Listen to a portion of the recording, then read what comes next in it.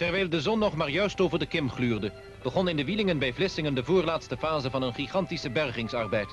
Het voorschip van de Engelse tanker War Diven, die in 1944 door een mijnontploffing was gezonken en in tweeën gebroken werd boven water gebracht. Dat geschiedde met samengeperste lucht die door zware compressoren in de ruimen werd geblazen. Een geheel nieuwe methode die bij dit soort werk nog niet eerder werd toegepast. Het systeem werd ontworpen door ingenieur Van Wienen, die er uiteraard het volste vertrouwen in heeft. Met de kiel naar boven richtte het schip zich plotseling uit het water. Maar aan bakboordzijde ontsnapten grote hoeveelheden lucht doordat het wrak niet geheel recht naar boven kwam.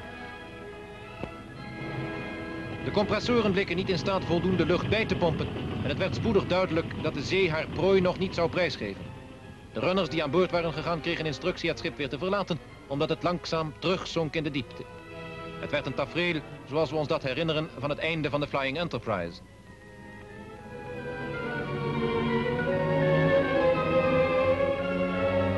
De bergers lieten zich door deze tegenslag echter niet van de wijs brengen.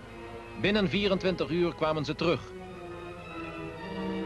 Opnieuw daalden duikers af naar het wrak om de slangen aan te brengen en om alles nog eens te controleren. Op het bergingsvaartuig stonden nu grotere en sterkere compressoren opgesteld. Alle mogelijke maatregelen waren genomen om de onderneming nu met succes te beëindigen. Na twee uur pompen kwam de War Diven weer boven water. En ditmaal bleek alles goed te gaan. Het schip lag nu een stuk gunstiger dan de eerste keer. Het duurde niet lang of de runners konden de noodzakelijke werkzaamheden gaan verrichten, zoals het bevestigen van de trossen.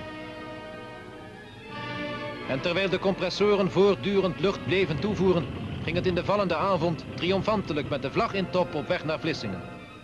Een Nederlandse ingenieur heeft met een gedurfde nieuwe methode de naam van Nederland op het gebied van de scheepsberging opnieuw bevestigd.